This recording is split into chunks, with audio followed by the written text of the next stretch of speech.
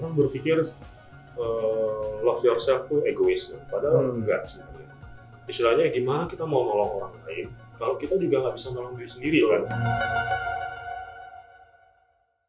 Jangan lupa untuk komen dan juga subscribe dan klik notifikasi supaya uh, saya bisa tahu bahwa memang kalian suka konten-konten seperti ini dan kita terus bisa berkarya.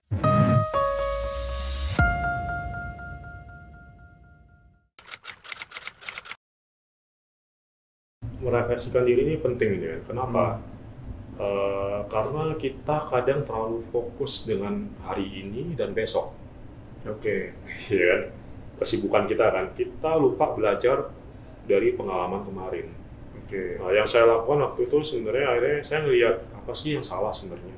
Hmm. Apakah ini salah orang-orang sekeliling saya, atau salah nasibnya, atau salah Tuhan gitu kan, Oke. atau salah diri saya sendiri, Hmm. salah siapa gitu kan. Waktu itu awalnya mencari kesalahan ya, tapi akhirnya saya ngelihat selama ini ternyata hidup saya nggak balance. Nggak balance. Ya hidup itu ternyata bukan cuma karir doang. Bayangin saya cuma fokus ke, ke karir, padahal udah nikah gitu kan. Hmm. Artinya ada ada faktor relationship. Ya selain itu ada spiritual kan. Iya. Terus ada faktor emosional di hidup kita. Hmm. Financial itu nggak pernah di take care. Jangan pikir entrepreneur tuh semuanya take care financial, itu Iya. enggak juga. Yang di take care cuma bisnisnya doang kadang. Betul. Iya kan?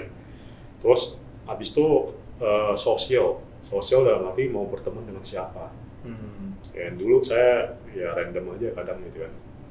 Eh, terus belum lagi eh, apa gimana hubungan kita dengan orang lain gitu kan.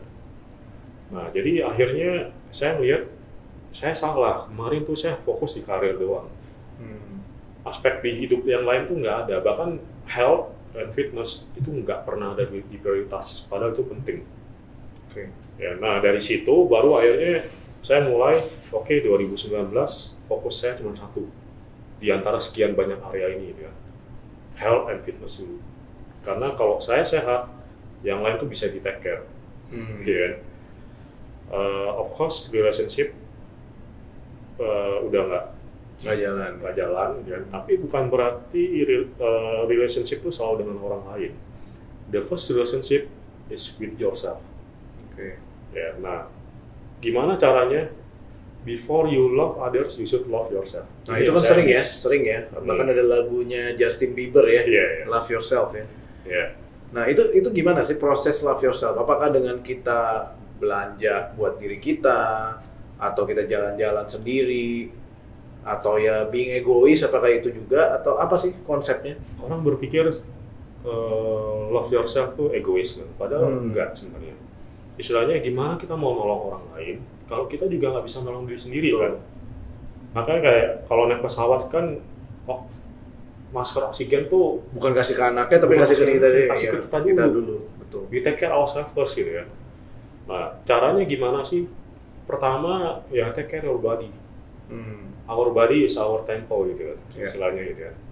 Kalau tubuh kita nggak sehat, gimana yang lain bisa jalan kan? Itu itu hal yang paling sederhana deh.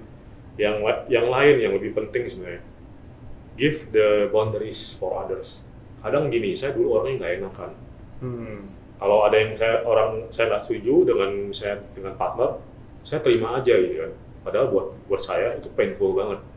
Oke. Sekarang saya nggak ragu-ragu bilang saying no. Oke.